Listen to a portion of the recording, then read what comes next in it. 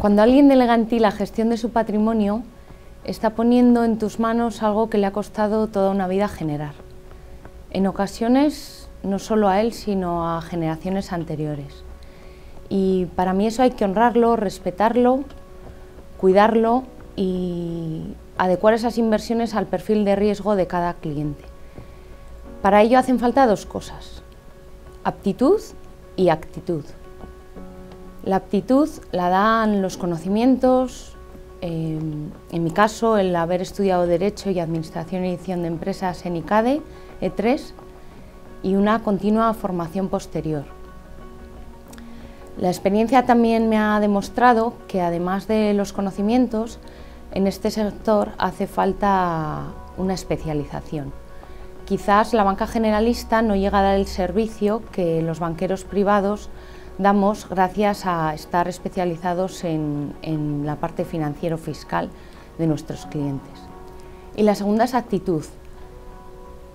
La motivación y las ganas creo que son algo fundamental en este trabajo.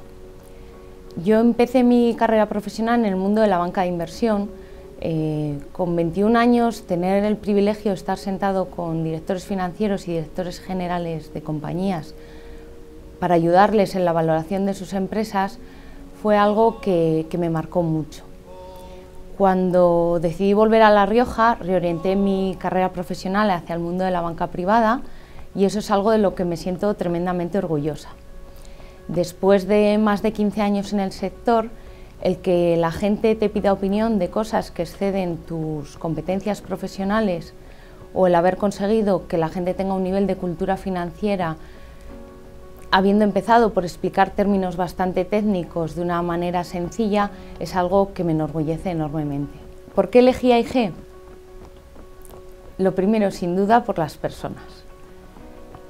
Encontré un equipo de profesionales muy reconocidos en el sector, pero sobre todo con unos valores y una motivación muy similar a la mía.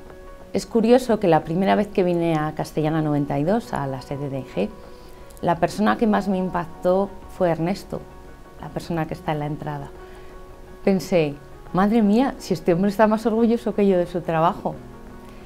Y lo curioso es que hace una semana, en la reunión anual del banco, eh, dando unos premios, uno de los premios fue para él. Pero mi mayor sorpresa fue la ovación de todos los banqueros y empleados de AIG cuando a él se le dio el premio. Y la segunda es el modelo un modelo independiente, especializado, con orientación al cliente y el tamaño suficiente para poder desarrollar soluciones a medida para cada uno de mis clientes. Para algunas personas el éxito viene motivado por un cargo, una tarjeta o, un estatus.